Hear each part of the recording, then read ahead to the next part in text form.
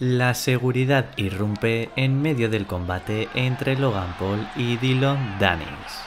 Comenzamos con el vídeo. Y es que Dylan Danis y Logan Paul tuvieron que ser separados por la seguridad al final de su intensa pelea en el AO Arena de Manchester durante esta noche.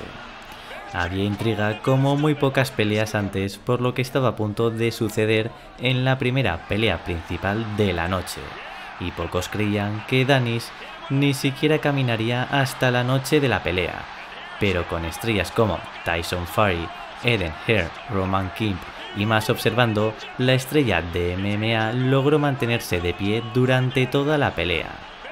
Pero justo al final, cuando Danis intentó su prometido derribo, se produjo el caos con los equipos de la pareja corriendo hacia el ring para interponerse en una pelea se anunció que Paul había ganado los seis asaltos, pero la decisión oficial fue una descalificación para su primera victoria en el boxeo.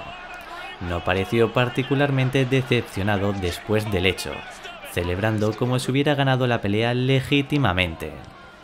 En su entrevista posterior a la pelea calificó a Danis como el diablo y se burló de él por no seguir adelante con su jiu-jitsu.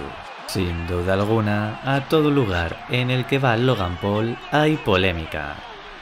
Una vez expuestos los hechos, os invito a que dejéis en la cajita de comentarios vuestra opinión al respecto.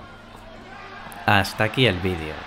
No olviden dar like, comentar, compartir, suscribirse y activar la campanita de notificaciones para estar al tanto de todas las publicaciones del canal. Nos vemos en el próximo vídeo. Chao, chao gente.